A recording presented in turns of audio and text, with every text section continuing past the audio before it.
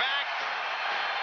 And when that music hits, guys, the electricity in the arenas around the world, unmistakable. We've witnessed the birth of this man on this program in less than one year. He has run through the competition, and he has remained unblemished.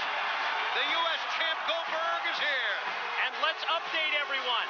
82 and 0, undefeated.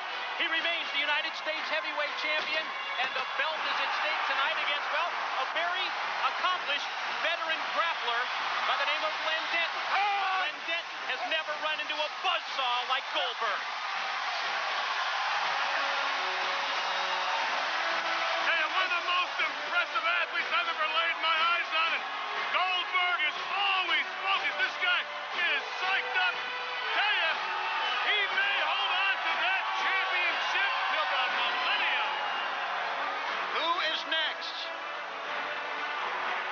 Denton is next on the list.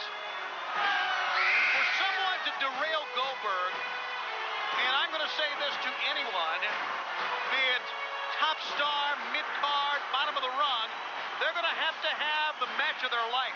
I tell you one thing, talk about the size of the New World Order. I'm surprised they're not going after this guy, because to any organization, he's worth his weight in Goldberg.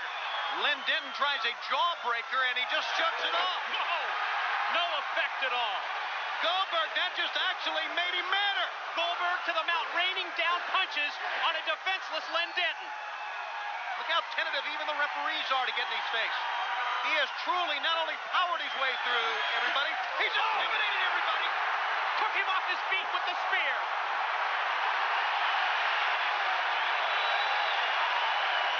Just like a shark smelling blood, Goldberg moving in. He is awesome. He hooks Len Here we go. way up high. Holds him up for a long time.